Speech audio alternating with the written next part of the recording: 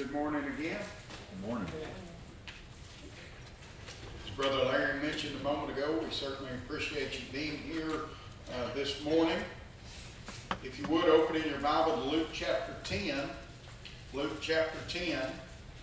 We're going to be studying about two sisters that are talked about in the Word of God. And uh, of course, we know Mary and Martha quite well. We've heard about them, read about them many, many times.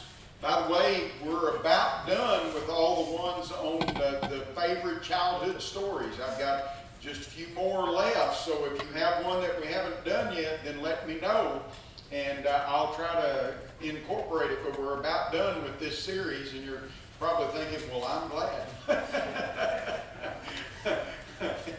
we started in January, so we've been going through this for quite a while, but uh, each one of them have been their own kind of different story, so I think it's worked out well. I do appreciate your comments and your encouragement. Um, I also, uh, and Brother uh, Larry mentioned it a moment ago, but there are flyers out in the foyer, and we do encourage you to pick those up, hand those out. Uh, there are also some of these out there that have the uh, gospel meeting on it, which is a little bit smaller format, so you can either grab the flyer or grab both. But take those, hand those out. If you're walking in, these are pretty good when you're eating at the restaurant. Just lay it down on the table on the restaurant when you get through. And, and make sure to tip them. Don't give them a penny and a card. make sure you give a good tip when you give this because we don't want to get to people saying, I ain't going over there. No. But anyway, those are out on the table in the foyer. Make sure and pick those up and, and avail yourself to that opportunity. As we said, the gospel meeting is quickly approaching. By the way, there is also a sign-up sheet out there in the foyer, uh, Feed the Preacher. So if you would like to feed the preacher either uh, Monday, Tuesday, Wednesday, uh, let us know about that. You can sign up on the table in the foyer. Let's, let's now turn our attention to the Word of God. And we're going to talk about these two sisters that in many ways uh, they are much alike as far as we can tell from the Word of God, and yet there's some differences that we're going to see. So we've entitled this A Tale of Two Sisters, uh, Mary and Martha. And of course, the text that we're going to look at begins in verse number 38. The Bible says, Now it came to pass as they, and uh, we'll delve into this more in detail in just a few moments, but the they are the disciples that are traveling with Jesus. And you remember that earlier in the chapter, Jesus had sent out the 70s. Uh, the 70, they went out by twos. Y'all remember this? Uh, so they went out by twos and uh, they evangelized in only in Israel. They were not to go to anyone outside the nation of Israel. And so they've been out traveling, they've been out preaching the gospel, and so they've come back and they are gathered together with Jesus, and uh, so that's the they. Now, at this point, we don't know if that includes the entire 70 and all the entourage. If, if that is who it is, then uh, Martha had a big job on her hand. Uh, you know, you stop and think about that. If you're going to entertain 70 plus people, that's a, that's a mighty big order. And that may be partly why uh, she's, did I say Mary Martha? And maybe why that she, she acted the way that she did because uh, that's a large crowd. So it came to pass, verse 38, as they, Jesus and his disciples went, they entered into a certain village. And of course, we know from other texts that that village is Bethany. So they entered into a certain village, and a certain woman named Martha received him into her house. So again, we don't know exactly who all comes into the house with Jesus, but she opens her door, and that tells us that uh, Martha was a woman that was very hospitable. And of course, we know that. She opened her house apparently on many occasions for Jesus and his disciples. And so Martha received him into her house, and she had called her sister Mary, uh, which also sat at Jesus' feet and heard his word. Verse number 40 But Martha was cumbered about, much serving, and came to him and said, Lord, Dost thou not care that my sister hath left me to serve alone? Bid her therefore that she help me. And Jesus answered and said unto her, Martha, Martha, thou art careful and troubled about many things, but one thing is needful. And listen to the language that Jesus uses. And Mary hath chosen that good part which shall not be taken away from her. Now, I'm going to say as we begin this, Martha through the years has been given a pretty bad rap on the way that she acted at this point, and hopefully when we get through with this lesson, we'll delve in a little bit deeper, and I hope you will see the kind of woman that Martha really is, and Mary, her sister, along with her. So let's do a little bit of background before we actually uh, go in and examine the text itself. There's no doubt that Mary and Martha and their brother Lazarus was quite loved by Jesus Christ. Just keep your finger here. Turn with me to John chapter 11 for just a moment. John chapter 11. By the way, Lord willing, next Sunday we will talk about Lazarus being raised from the dead. No, wait, we did that, didn't we? I'll have to look at my notes. Now I said that and I thought, did we already talk about Lazarus?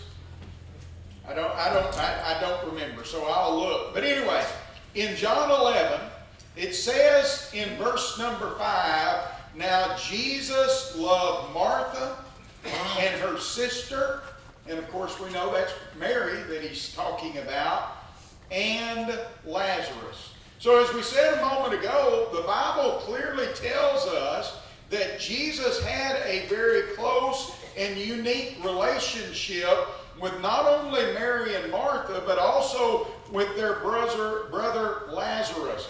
And also, the text tells us in John chapter 11 that they were very well known in the city of Bethany.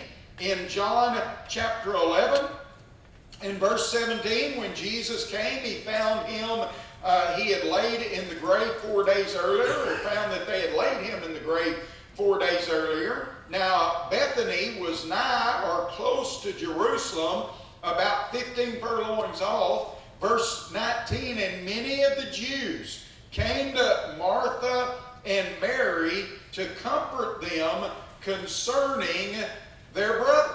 So, uh, not only apparently were they well known in Bethany, but if I understand the implication of this text, not only the city of Bethany turned out, but there were people that came down from Jerusalem because Jerusalem was very close. And so the implication is you've got not only the city of Bethany that comes out, but you also have those that come down from Jerusalem, which is a couple of miles away.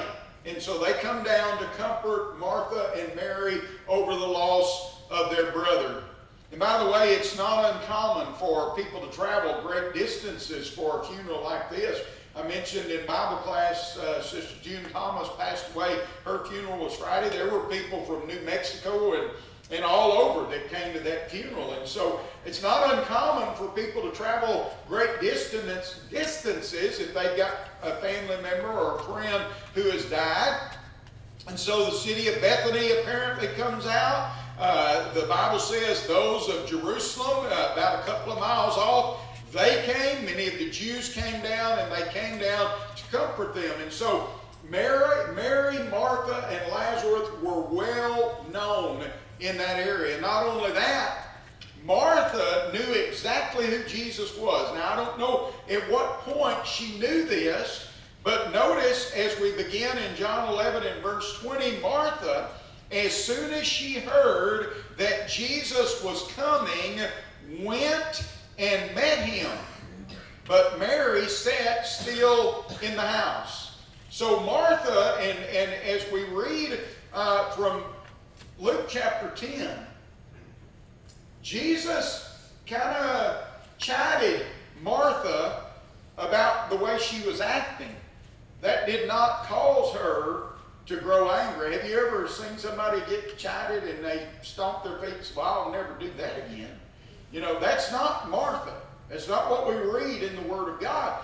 And I would caution us that if we're chided, if we're corrected, instead of getting angry and getting mad at the person who corrects us, look into ourselves, as Paul said in 2 Corinthians 13 5, examine yourselves whether you be in the faith. We need to look into ourselves and say, is that a legitimate concern? Have I been acting like that? And if it is, then we need to make sure we make a correct change, right? Don't get angry just because someone had corrected you. And so Martha, when she hears that Jesus was coming, the Bible says in verse 20, she went out to meet him. Uh, he hasn't apparently made it to the village of Bethany yet. Martha hears he's coming. She goes out to meet him. Mary stays in the house. And then said Martha, verse 21, unto Jesus, Lord, if thou hadst been here, my brother had not died. Jesus, if you had been here, Lazarus would not have died. Of course, we know that Jesus had opportunity to come earlier. He knew that Lazarus was sick before he died, but Jesus did not come. And we know, of course, that Jesus did that for a specific reason. He knew he was going to raise Lazarus, and so he doesn't come when Lazarus is sick. Could Jesus have healed him when he was sick? Yes, and Martha knew that. And then she says this, but I know that even now, whatsoever thou wilt ask of God, God will give it to thee. I want you to think about the faith of this lady. Implied in that statement, if I if I am not mis Lord, even to this good moment, you could do something Jesus saith unto her in verse 23, Thy brother shall rise again. Well, I know that Lazarus is going to get up. He's going to rise again. So she was not of the sect of the Sadducees who didn't believe in a resurrection. She believed in a physical resurrection. She knew that that body that was going into the grave is going to be raised. And Paul tells us in 1 Corinthians 15 that body that went in the grave is a physical, corrupt body. The body that comes out of the grave is going to be tra changed, transformed. It's going to be a spiritual, incorruptible body. Now, I don't know what that looks like. Noah, none of us knows what it looks like, but we know in 1 John 3, in verse 2, that we'll be like Jesus, and that'll be plenty. But there is going to be a resurrection of that body that goes into the grave. And Martha knew that. So she says in verse 24, I know that he shall rise again in the resurrection at the last day. And then Jesus saith unto her, I am the resurrection and the life. He that believeth in me, though he were dead, yet shall he live. And whosoever liveth and believeth in me shall never die. Believest thou this? And notice what happens in verse 27. Martha says to Jesus, Yea, Lord, I believe that thou art the Christ, the Son of God, which should come into the world. You know, in Matthew chapter 16, when Peter made that pronouncement, Jesus said, Blessed art thou, Simon Barjona. Flesh and blood has not revealed that unto you. So here is Martha making the very same confession. We'll save that for later. But no doubt, Jesus loved Martha, Mary, Lazarus. They were known in their community round about. And not only that, Martha knew that Jesus was the Christ the Son of God, the Old Testament Messiah that had been promised since Genesis 3 in verse 15. She says, I know who you are, Jesus, and I know what you can do.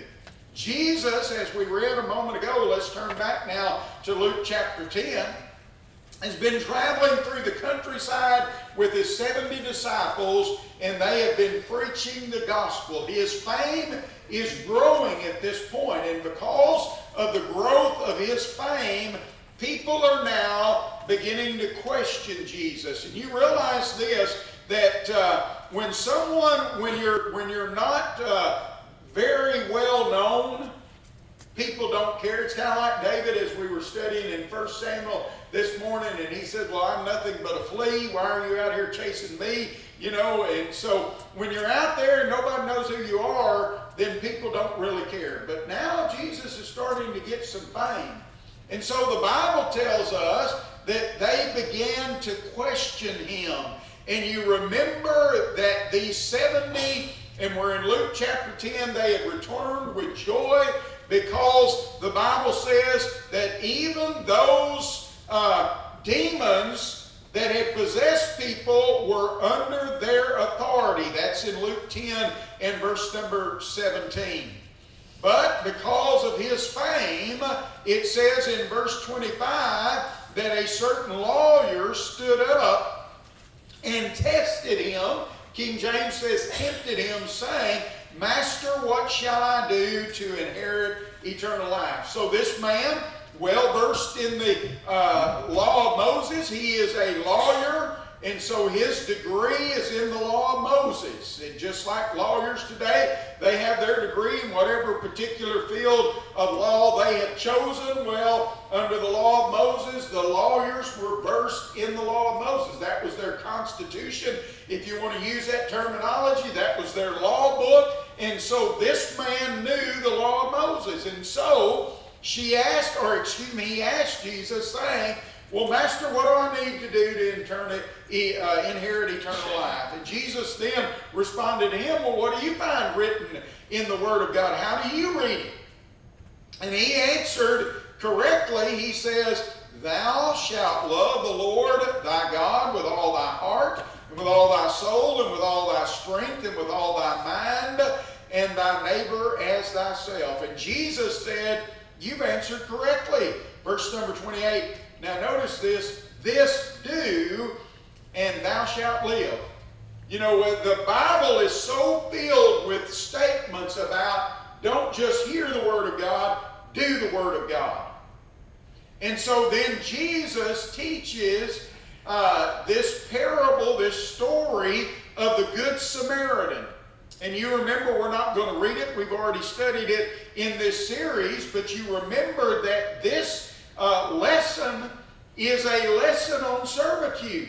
You've got a man who is a Samaritan who helps someone, by all implications, who is a Jewish man who's been robbed and left in the ditch, the Bible says, half dead. The priest walks by, goes and looks, and then he, he goes on. The Levite pauses and looks, and then he goes on, and then you've got this Samaritan who was despised by the Jewish people who stops sees a person in need. He doesn't see any uh, race in that because they're, they're, they're a little bit different in race. The, the Samaritans were part Jew, they were part Gentile, and because of that fact, they were despised by both peoples.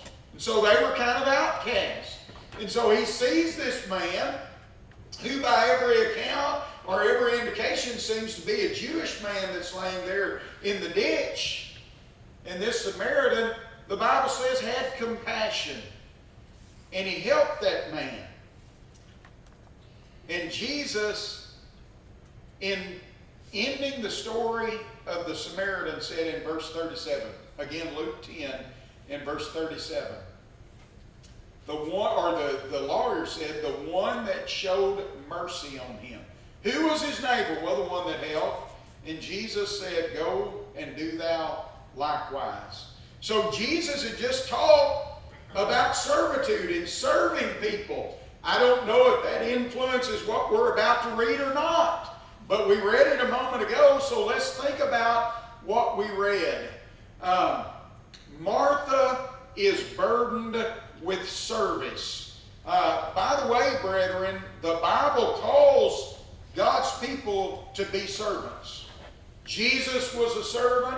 We're all to be servants. There is absolutely nothing wrong with being a servant. And so Martha is not doing anything wrong in serving people. There's nothing wrong in what she's doing in serving people, right? And so Martha is serving those people. As we mentioned a moment ago, it says in verse 38, it came to pass as they went, and uh, the, the they, as we've already indicated a moment ago, may have been the entire 70 and maybe even more. We don't know how many people were traveling with Jesus at this point. And so he enters into a certain village, as we said a moment ago. This is Bethany. There was a certain woman named Martha who received him into her house. Uh, you know, when you look at it, uh, Martha, there's indication we don't know. There's not a lot of information about her. About her. We don't know if she was married and uh, widowed. We don't know if she's married and the husband is still alive. We don't have all those details, but we do know this. Mary and Martha were close followers of Jesus Christ. And if this is her house, as the text we just read a moment ago, if she is alone in this household, she was a woman that was of pretty good means to be able to do the things that she did. And so the Bible says in verse 38 she received him into her house, and she had called, uh, she had a sister called Mary, which also sat at Jesus' feet and heard his word. So the scenario is Jesus come into my house, don't know how many people are there, but Jesus, as he often did, is going to use this as an opportunity to sit down and teach. And so as Jesus is teaching, and again, we don't know how many is involved in all of this, but Mary sits and listens to what Jesus has to say. Martha, verse 40, was cumbered about much serving. And again, depending on the number, even if it's just a handful, six or eight men, whatever, however many it is, it's still going to be a burdensome job. And by the way, brethren, this, women do so much for the kingdom of God. That, that is uh, uh, one of the things that I think that we have overlooked in the past. I think there's been two extremes that we've gone to when it comes to the serving of women. And we need to understand that women have a very important role. Uh, I think it was uh, maybe Napoleon who said many, many years ago that a, an army moves on its stomach. What he was saying by that is every one of those soldiers has to be fed three meals a day, right? And so that's why when you look at the the military, you look at the number who actually do the fighting, and you knew you look at the number of those who are in support roles. Well, they can't fight if they don't have the supporting roles that are going on behind the scenes. And so, truly, an army does move on its stomach. And we appreciate so much that we have a congregation full of ladies who know how to feed us and take care of us and do not only that, but the spiritual work that is involved as well. And so this is a job that is underappreciated by all means. The job, the work that ladies do in helping the congregation. So Martha is cumbered about with much serving. So she comes to Jesus and she said, Lord, dost thou not care that my sister hath left me to serve alone. I think we can all sympathize with Martha at that point. You ladies, I know, can sympathize even more than the men can in that part. Here she is working and laboring, no doubt sweating, cooking the meal, serving the people, and, and you can just almost see the exp- uh, uh exasperation on her face. I, I, I'm, I'm in the kitchen I'm serving. I'm doing all this, and Mary's sitting there not lifting a finger. So she's a little bit put out at her sister Mary for not getting up and helping her. So then Martha says this Jesus, would you tell her to get up and help me? would you tell her to quit lounging around and get up and help me? And then, of course, when we think about that, we think about Mara, uh, Mara, uh, Mary. By the way, the, the Hebrew word is uh, it is either Mara, Miriam goes back to Miriam, uh, going all the way back to Moses' sister. And, and by the way, I don't know if there's any implication in this. It means rebellion, rebellious. So I, I don't know, uh, uh, Mary, our Mary back here, you know, uh, but it means rebellious. But anyway, Mary is a lady who is sitting here, uh, sometimes, as we said, it, it, Marie, Mary, Miriam. So she's sitting here and she is listening to Jesus.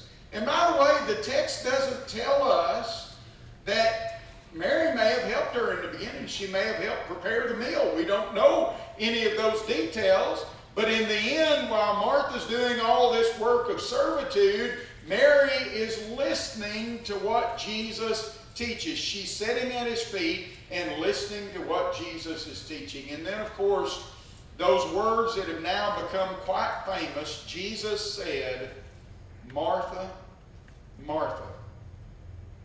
He says, You're, you're careful, you're, you're very diligent, uh, you're, you're, you're not one that does things haphazardly,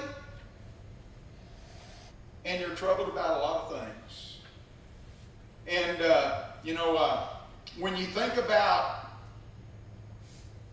the history of ladies working in the church, you know, you, you think about the ladies that diligently serve and help and work, and there's a lot of thought that goes into that. You know, you, you, you, again, as men, I don't know that we fully sympathize with all that the ladies do. We're going to have a potluck in a couple of weeks. Oh, well, you know, well, there's a lot of ladies that are concerned about what's going to, how that's going to transpire. Is everything going to be ready? Everything going to be laid out? There's going to be plenty of food. There's going to be plenty of paper or, or plates for us to eat off of. Is the tea going to be ready? Is the coffee going to be ready? Somebody's going to want sweet tea. Somebody's going to want unsweet tea. So there's a lot of preparation that goes into that. And Martha was burdened with that uh, job of getting everything ready. But Martha had let it go a little bit too far, if I'm understanding the text. None of those things are wrong in and of themselves, but I've said this before, and, and I, I I, I think I'm right. The ladies are very diligent about those things and very concerned about those things, and the men are saying, just throw a bologna sandwich on the plate, I'll eat it. you know, the men are not necessarily distraught about those things, but you ladies doing the work, you're like, there's a lot of work going into this. So Jesus very tenderly and compassionately says, Martha, I know that this is an important job and it has to be done. But what Jesus does in this text is remind her that as important as those things are, there's something that is more important. There's something that matters more. And that is those things which relate to eternity. Think you've probably seen the little cartoon of the preacher that walks into the potluck and, he, and it says the preacher's nightmare came true. There's only green bean casserole for everybody. you know, I don't know many preachers that have that dream, but maybe there are some. But, uh, you know, it, it, it's that idea, okay, if it's just green bean casseroles, is that okay? Well, I would say yes. I would say yes. So Jesus concludes this by saying in verse 42, there's one thing that is needful. Martha, there's one thing that you're leaving out. There's one thing that you were forgetting. And Mary had chosen that good part. Mary made the right choice. Martha did what she did in full honesty and everything, and Jesus is saying, you know, Martha, if we had bologna sandwich, we would all be okay. And Mary has stopped and she has listened, and he says, I will not take that away from her. I will not take that away from her. You know, when you think about this, as I mentioned earlier, Martha was corrected by Jesus in the way she was serving. Not doing it right. You need to understand there's something that's more important. And as I mentioned a moment ago, sometimes when we're corrected, especially when you look at this, it may have even been right there in front of everybody. And he's like, Martha, you need to, you need to think. There's something that's more important. Mary has chosen that part. See, sometimes we get mad and we say, I'll never do it again. But let's turn to John chapter 12. And this is where we'll wrap up and end our lesson. Martha did not become bitter and say, Well, I'll never work another potluck again. I'll never do another thing like that again. The Bible says in John 12 and verse 1 Then Jesus, six days before the Passover, came to Bethany, which uh, where Lazarus uh, was, which had been dead, whom he raised from the dead, and they made him a supper. Watch this. And Martha served. So Martha didn't stop doing what she was doing in serving people. She continued to serve people, and this is uh, less than just about a week until Jesus is going to die on the cross. She's still following Jesus. She's not upset. She's still doing the work that she's always done. But in my mind, I see a little bit of change in Martha. She recognizes that there are things that are more important. So she served. And Lazarus was one of them that sat at the table with them. So she continues to serve. But I want you to notice what happens in verse 3. Then Mary took a pound of ointment of spikenard, very costly, and anointed the feet of Jesus and wiped his feet with her hair, and the house was filled with the odor of the ointment. So Mary is still thinking along the same lines spiritual things. Martha's continuing to serve, no indication that she's upset with what Mary does at all. Now, Judas Iscariot in verse 4, Simon's son, the one that would betray him, he says in verse 5, Why, has, why was not this ointment sold for 300 pence and given to the poor? Mary can't catch a break. now, now Judas is fussing at her. Well, you should have sold that and given it to the poor.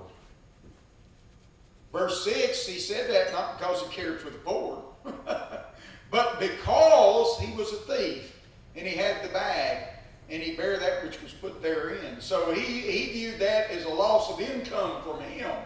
And so here is Judas with this uh, bad and ill motives, and Jesus said, Let her alone. Leave her alone. Against the day of my burying hath she kept this. So we're not going to read any further into that, but I think we understand the point that there are jobs that need to be done. There are jobs of service that need to be done every day. And I, I think that I can say with all sincerity that the men appreciate so much everything that you ladies do. Everything that you do behind the scenes to make sure things work and run as smoothly as they possibly can.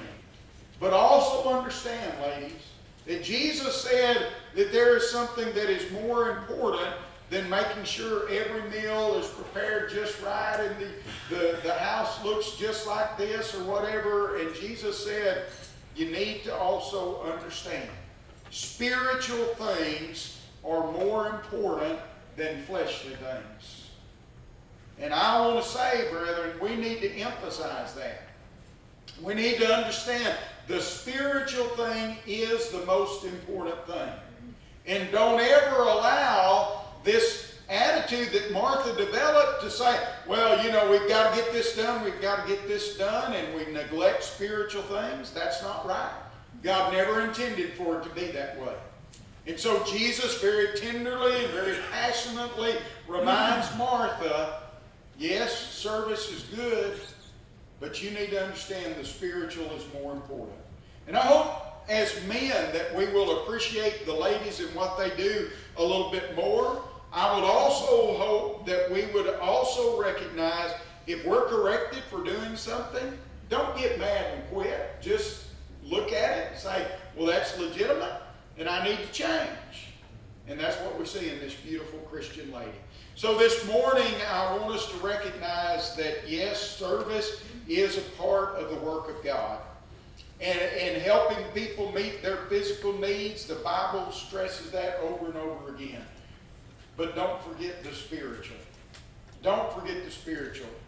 And I would say to us as men of the congregation, you know, we oftentimes help people that are that are in need that maybe come to the congregation and they're needing money for gas or money for food or money to help pay the rent or whatever it is, and, and we're often very generous and helpful in that.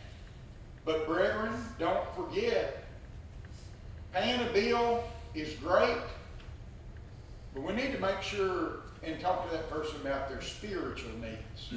Are you okay spiritually? Are you right with God?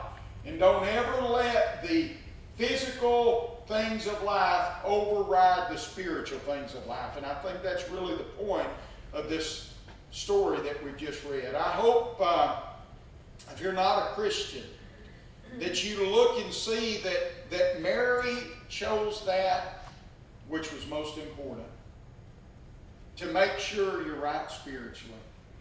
And you need to make that choice this morning. If you're not a child of God, then we'll study with you if that's necessary. If appropriate, we'll baptize you into this Christ.